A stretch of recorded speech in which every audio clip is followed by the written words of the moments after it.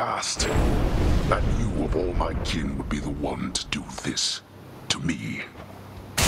Nor pay for them. Yes.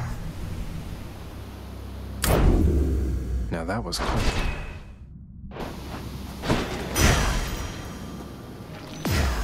Baratha shuddered just now.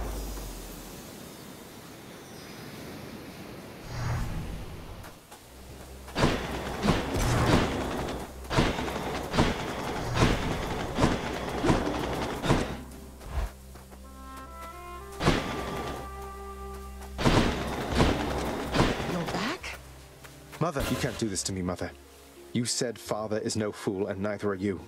There has to be a way to fix this. Not just with you and Father, but with everyone. There has to be a way. You have your father's stubbornness. Listen to me. You're endangering everything you care about by coming here. Don't you understand?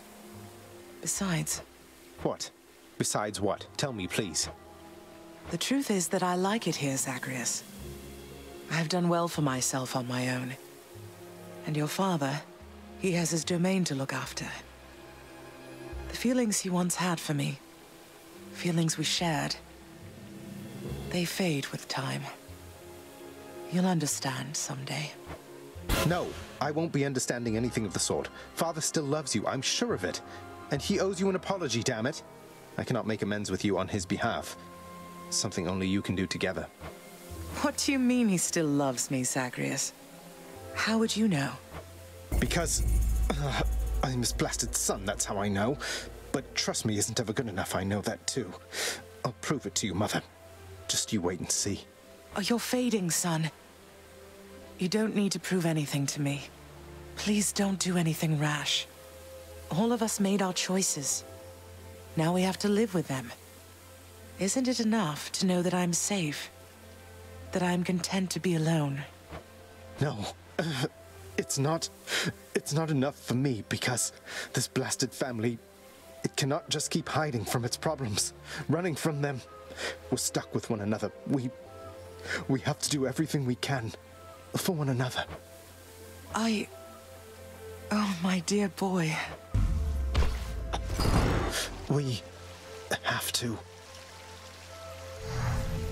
No, not yet.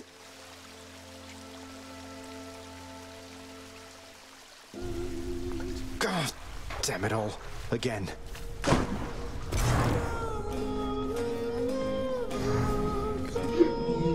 Cerberus is comfortably at rest, observing all.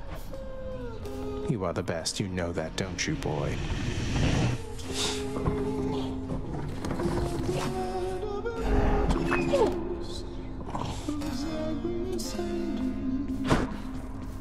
Achilles, I need your help. What is it, lad? What's wrong? What can I do? Let me in Father's chambers, please. That's high atop the list of things I'm not to do for anyone and under any circumstances. What is it you need? I've never even been in there myself. I don't know. I don't know, but if I know Father, and I think I do, he's got to have something of hers in there. Of Mother's. She still doesn't get it, doesn't believe me about him, and I said I'd prove it, that he cares for her. All right, slow down. I understand. Look, this can get me in a lot of trouble like you've no idea. And not just me, so be careful and be quick while he's still out. Take this and go. Don't leave anything there out of place, all right? Thank you.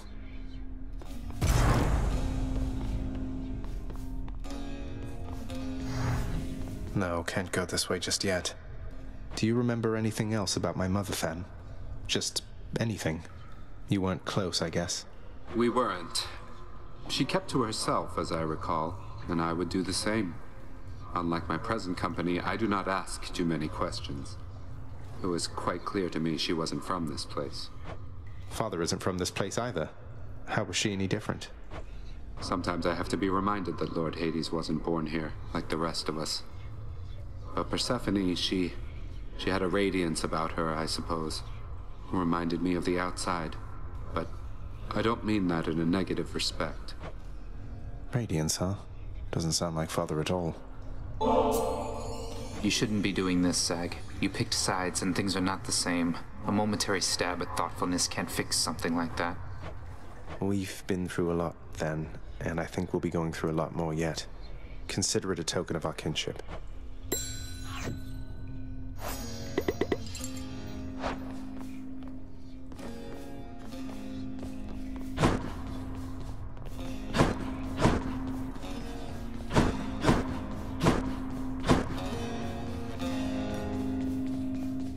Hey Nyx, I would have you know I'm now proud owner of my very own chthonic companion.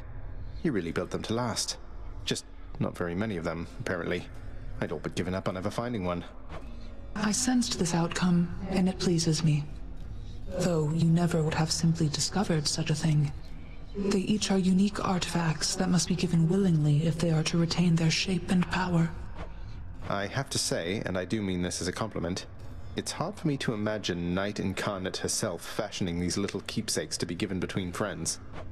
Do not mistake them for their unassuming look.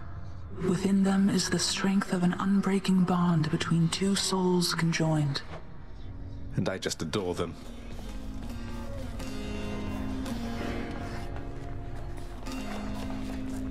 Here, you can have these, Chef. Till next time. Sorted the cutlery, wiped the counters, replaced the candles, did the dishes, swept the floor, inspected the barrels. Let's see what else. Oh, the prince! It's you! It's me. Dusa, I'm impressed you're able to manage this whole lounge all by yourself. How do you do it? What's your secret? Secret? I'm two weeks behind schedule with this place, at least. Unfortunately, no one here seems very good at keeping time, so no one's gotten on my case just yet, but. Oh, you aren't gonna tell, are you? Of course not. What's behind schedule, though? This place doesn't seem any worse for wear than usual. Well, that's just it.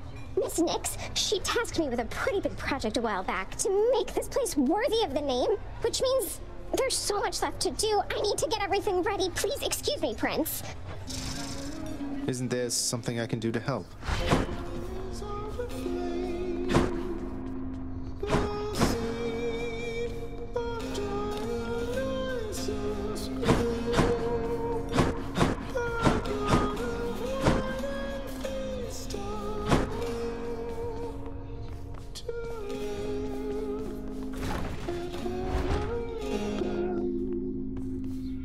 The stoic lord and master of the house possesses wealth beyond imagining, a portion of which he has used for a crisp set of attire for every passing day.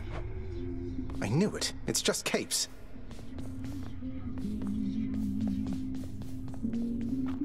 In his lord father's very private chambers, Zagreus, the lock-removing prince, discovers a most delicately painted likeness of none other than Persephone herself. A coat of dust suggests it has remained here for some time. He's never stopped thinking of her. Ugh, what a fool.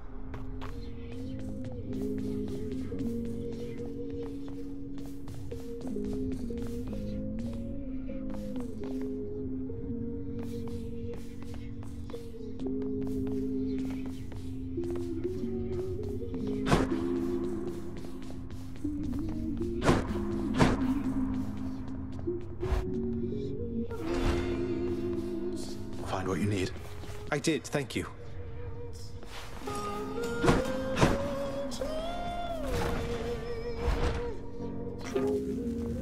Just checking up on things.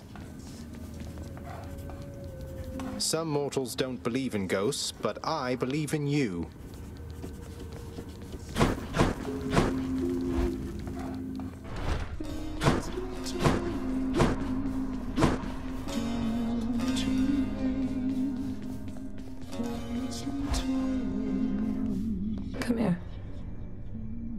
Meg, what a surprise.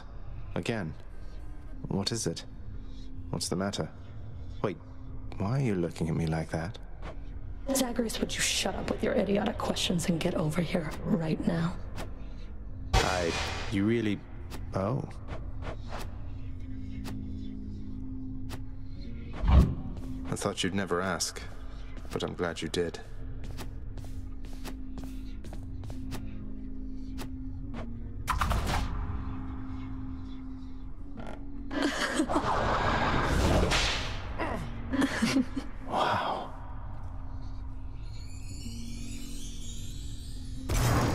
Um, Meg, I. What I'm trying to say is, are you. Are we good? Or. Stop being insecure around me, Zag. You should know better than that by now. Though, yes, if you must know, I think we're good. But if you tell another living soul, or even a dead one, I will kill you. Understand? I. Loud and clear, Meg, yes, I understand. So then, what happens now? What happens now? I'll see you at the edge of Tartarus, I guess. Or maybe here, however long we keep this up. However long we keep this up.